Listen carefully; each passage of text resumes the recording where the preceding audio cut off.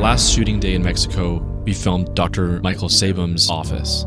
We had a few scenes to kind of set up here. One was his research office.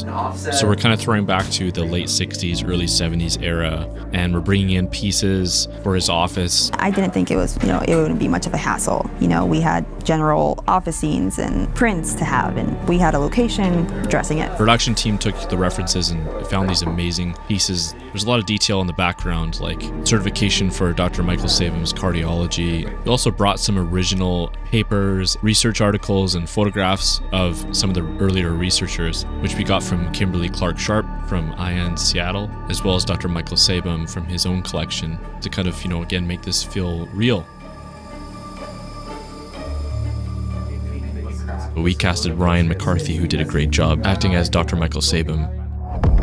So the other scene that we set up was an interview. Put me up on a. So this is one of Sabom's patients that he'd interviewed. The voices that we hear is actually the original tape. You know, making this interview scene kind of come to life.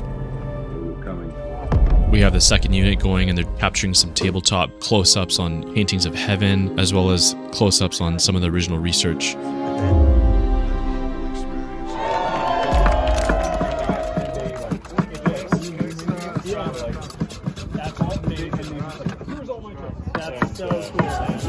Bezos!